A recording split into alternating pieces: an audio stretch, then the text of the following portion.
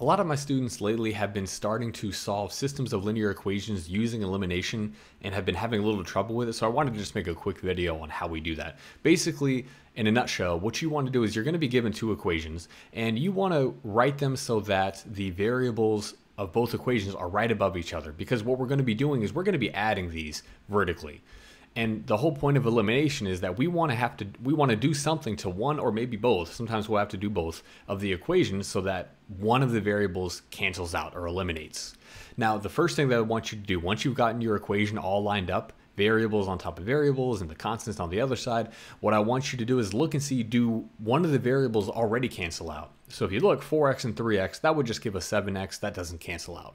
But y minus y, that cancels right out. So right off the bat, we didn't even have to do anything. And what you do now is you just add vertically like normal. So 7x equals, what is this, 70, and we would end up with x equals 10. Now be careful, sometimes, you know, when we're coming from just one variable equations, we think, oh, okay, we're done. You have to take that value and plug it back into either one of these equations. Let me lock this in place so I don't erase it. And uh, I'll pick uh, this one down here. If I plug in x equals 10, what I get is 3 times 10 minus y equals, wow, I can't write 22. and uh, we would end up with 30 minus y equals 22. I'm just going to bring the 22 to the other side. We would end up with 8 and then plus y to the other side, y equals 8. And if you look, that's how we solve this. And if you were to use the other equation, it would give us the same exact thing. That we would have 4 times 10, 40. We could subtract 40 and we still end up with y equals 8. So it doesn't matter. Once you get this first equation, excuse me, variable, you can go back and pick either one of your equations that you started with to find the value of your second variable. Whew, that seemed like a lot. I promise it's not that bad once you get the hang of it. But basically what you want to do is make sure all the variables are lined up and then see what you have to do so that one of the variables cancels out. So let's go to an example where that's not going to be the case, where it doesn't automatically say, oh, they cancel out. We're going to have to actually do something to make that happen. Now looking at this second equation, basically we, we, want to do the exact same thing. If you look, none of the variables cancel themselves out automatically, but you can cancel out either of the variables. So you could pick these two and, and you know do some work and uh, cancel the x's out, or you could do some work and cancel the y's out. It's up to you. What I would recommend is picking the variable that would be the easiest so that we don't have to do as much work. And it looks to me like if I can turn this 4y into a 8y, a positive 8y, then 8y minus 8y, that cancels out, eliminates, right? And then we'd be good to go from there. All I have to do for that is just double this, multiply that by 2, but I can't just multiply 4y by 2, I have to multiply the whole thing. That's kind of like one of the big ideas behind the elimination method is you can't just multiply one term, the entire equation has to be multiplied.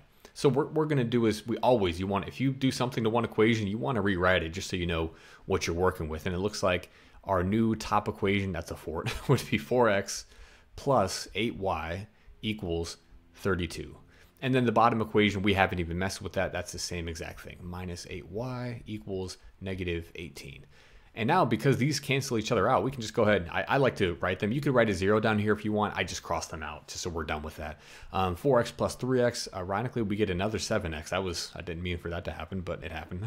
so, and then 32 minus 18, we get 14. And then from here, um, just dividing by 7, we get x equals 2. And then again, coming back, you can pick either one of your original uh, equations or the second you could pick this one over here but i usually start with the original ones because they're easier and what you want to do is take that variable be careful we're not done yet we're just about there we need to find out what the other variable is equal to and i would pick the easiest one you can kind of sometimes tell what the easier one looks like um, if i plug x equals 2 into the top equation i get 2 times 2 plus 4y equals 16 that's just 4 over here so i'd subtract 4 and i end up with 4y equals 16 Nope, excuse me. I subtract 4, 4y equals 12, and we get y equals 3.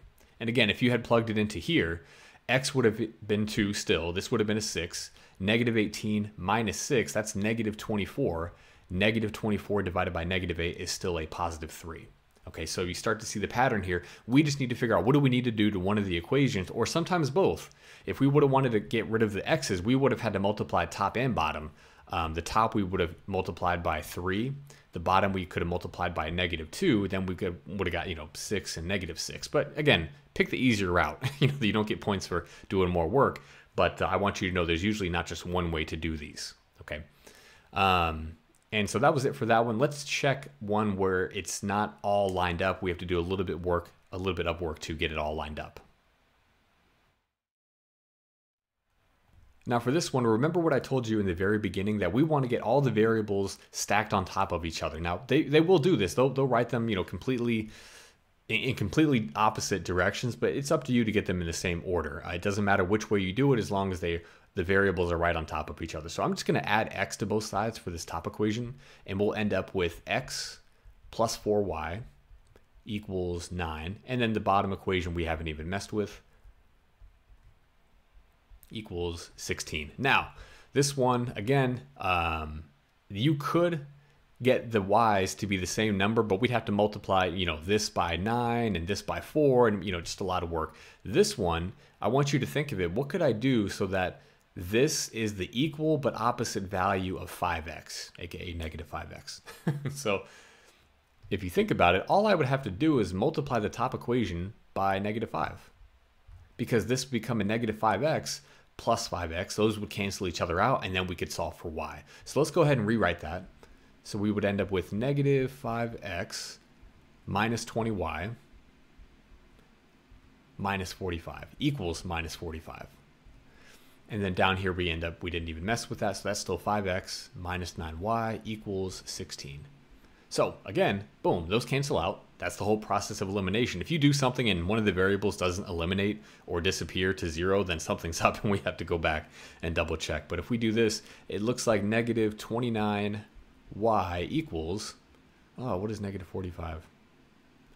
Negative 29, I'm kind of on the edge here, but if you look, negative, that's a 9, I promise. Negative 29y equals negative 29. If we divide both sides by negative 29, we end up with y is equal to 1. So let's go back. And, and I probably should have given you guys one where it, you get a fraction. You're not always going to get whole numbers. You know, algebra, algebra 2, they're going to expect you to be comfortable working with fractions. I just wanted to get you the idea of, you know, how these work. But make sure you're comfortable with fractions because they will pop up. Um, so we come back to the originals. I, I, just like to use the original equation. You could use the new one if you wanted, but let's plug y equals 1 into the easiest one we can find. That looks like this one. So we'd end up with x plus 4 times 1 equals 9. That's a 9. I can't write.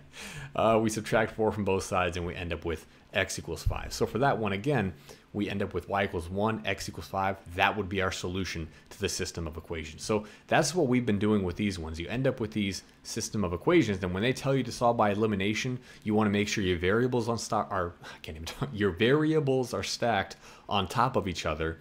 And then you just need to figure out what do I need to do to one or both of the equations so that when I add them, uh, the variables cancel out. And it's just so happened the easiest way for this last one was multiply the top by negative 5, the x is canceled out, and now we just have an equation with one variable. We've been solving those since pre-algebra, so we're all good to go, and then work backwards to find your second uh, value, your second variable's value. And that's pretty much it for elimination. Again, they can throw some fractions in there. You'll probably have some word problems. That's usually what you do next. I'll try and put one up, uh, a video where we actually go into some word problems and uh, see how we apply these. But hopefully this video helped and uh, we'll see you in the next one.